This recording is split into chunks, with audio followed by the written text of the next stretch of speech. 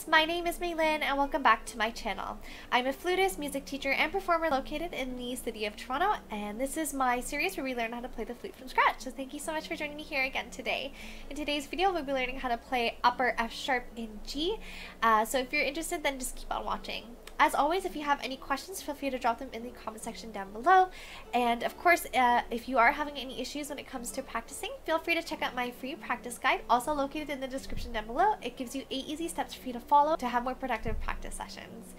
Um, so otherwise, if you're interested, uh, just before I start this video, make sure you click the like if you like the video. Um, and otherwise, let's just get right into it. So as per usual, we're looking through the Trevor Wye's Beginner's Book for the Flute Part 1. And we'll be starting on page 49 where we left off last week. So I'm just going to put up the fingering here for uh, upper F sharp and G. So it's very similar to how we played G before. So if you remember G, it's exactly the same fingering. And it's also really similar to F. All you're doing is changing one note. So first we'll start with the F sharp. So if you remember F, it's going to be G plus that one. So this is F.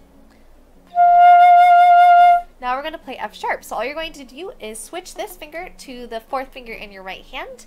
And just uh, and as a reminder, it is a semitone higher than F sharp. So, or sorry, than F. So this is F sharp.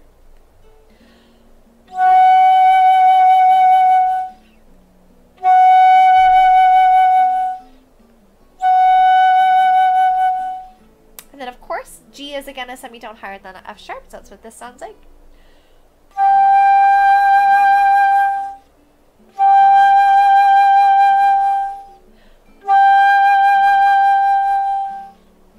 Alright, so what we're going to do is we're going to do, of course, some tone exercises now that we've learned a new note. So I'm going to put the first one right here. It's going to be very simple. I'm not going to clap it, or uh, not going to clap and count, sorry. I'm just going to play it for you. So one, two, three.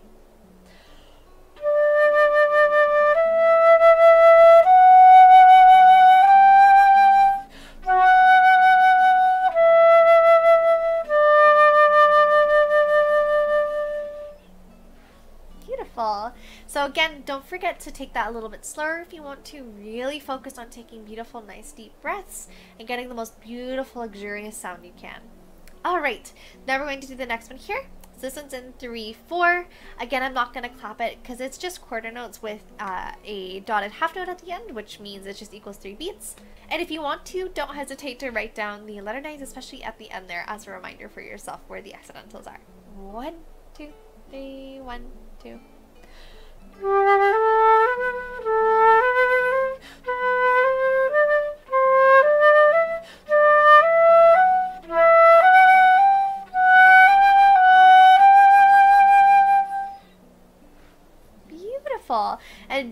Did you notice any patterns in that tone exercise? Uh, so what I noticed is that we actually moved up for every single bar. We moved up one step. So starting on G, then we went to A, B, C, D, all the way up until the end where it changes that pattern uh, at the second last bar. So, so that we end on G. Alright, and then we're going to do one more today, and that's going to be the one right underneath it. So this one's in 4-4. Uh, again, I'm not going to clap I'm just going to play it for you. And don't forget that we are playing F sharp in here. It is noted in the key signature. So right beside that 4-4 squished in between the treble clef and the time signature. And then also make sure that you are playing the slurs with this one too. So one, two, three.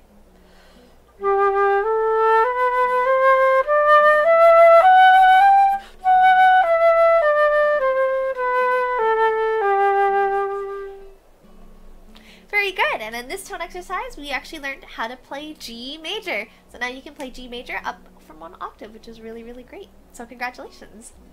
Alright, so now that we've done that, we're going to go on to the scale exercise in G major. So I'm going to put that up right here. So this one will we will do the clap and count. And just as a reminder, we are because we're in G major, that means we are playing the F uh, sharp, and we are in four four as well. So four quarter notes per measure. One, two, three, and four. Four. One and two and three, four. One and two and three and four and one, two, three. Rest. One and two, three and four. One and two three and four, one and two and three and four and one, two, three, four. All right. So again, I'll play this one for you. Um, this one might take you a little bit longer just because it is tricky. We are playing a that higher register. Um, so make sure that when you are getting up into that high register, that your air becomes a little bit colder, you're focusing your embouchure a little bit more down and a little bit smaller, just so that you're able to get those notes. But don't hesitate to put in more air.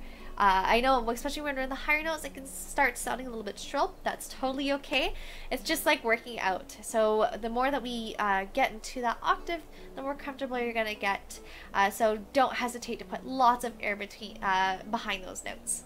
One, two, three, and.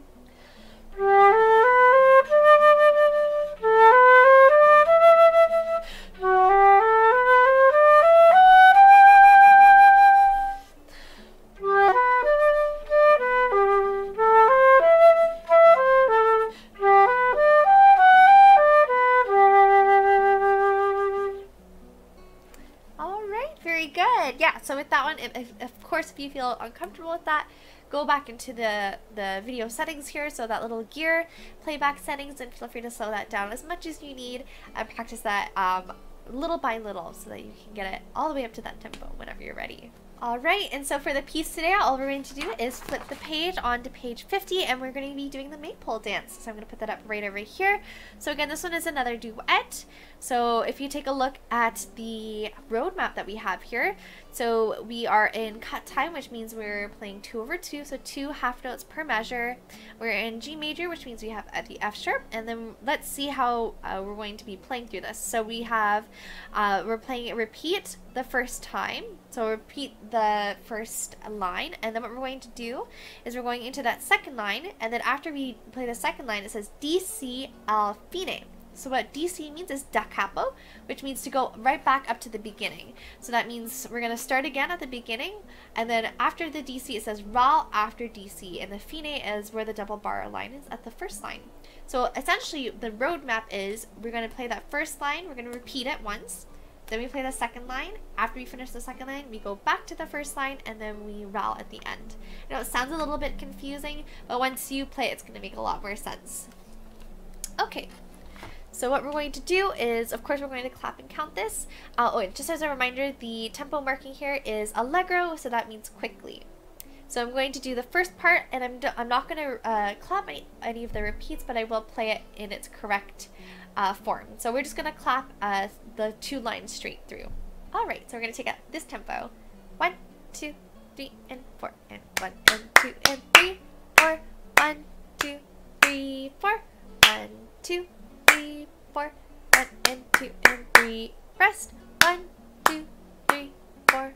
One, two, three, four. One, two, three, four. One and two and three. Rest. Okay, so not too difficult, but it is all the little details with this duet for sure. So make sure that you are getting any of the staccato notes in there, and then any of the slurs as well. They're all really important. So again, I'm going to be playing it, and I will play it as the roadmap indicates. So one, two, three, and...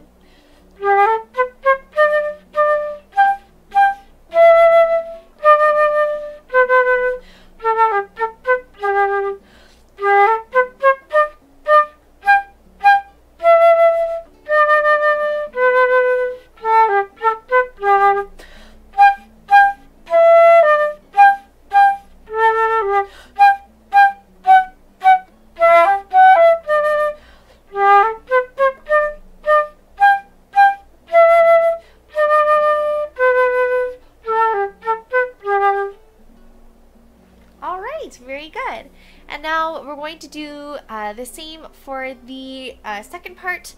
Uh, this one again I won't clap just because again it's so similar. The only thing that changes is the last bar on both the lines. So instead of playing uh, eighth notes for the first beat and the second beat for the first line last bar, we're just playing quarters. And then for the second line, all we're doing is switching uh, two of those eighth notes for a quarter. Okay. So we'll take it at that same tempo. One, two, three.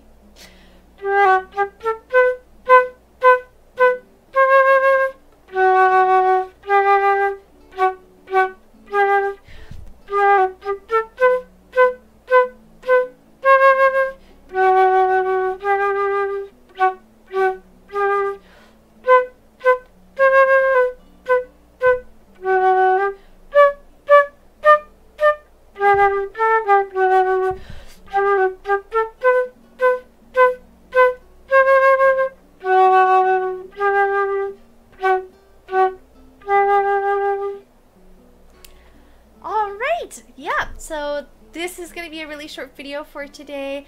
As per usual, if you have any questions, feel free to drop them in the comment section down below.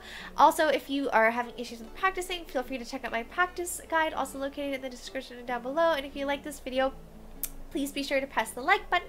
And for more videos like this, per, uh, definitely be sure to press subscribe.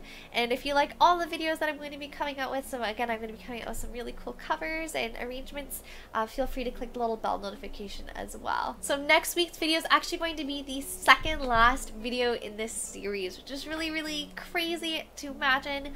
I've been doing this video since like the beginning of January, and actually, I mean, it's been since last year, so kind of crazy that it's almost coming to an end, but I do have a whole bunch of other videos uh, in store, so don't worry if you do like these videos when it comes to learning the flute from the scratch. Um, we're going to have a lot of great technique uh, videos that are coming up. But anyway, uh, for next week's video, we'll be learning all about C-sharp minor, so if you're interested, then again, make sure that you are click you've, you've clicked subscribe and little bell notification. And as always, happy fluting!